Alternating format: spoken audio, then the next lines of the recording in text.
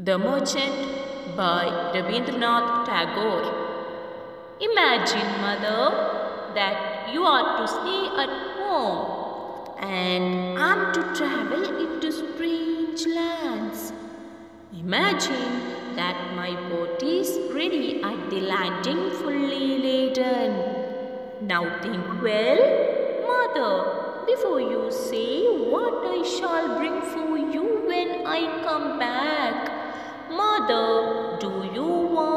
heaps and heaps of gold?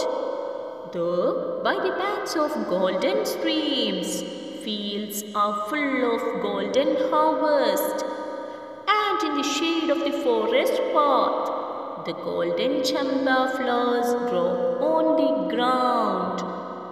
I will gather them all for you in many hundred baskets. Mother,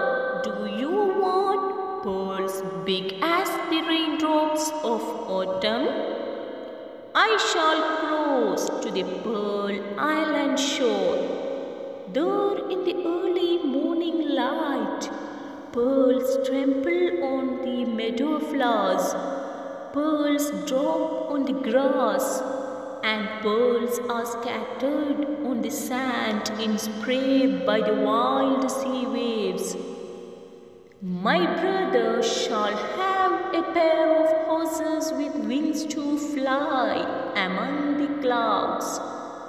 For father, I shall bring a magic pen that without his knowing will write of itself. For you, mother, I must have the casket and jewel that cost seven kings their kingdoms.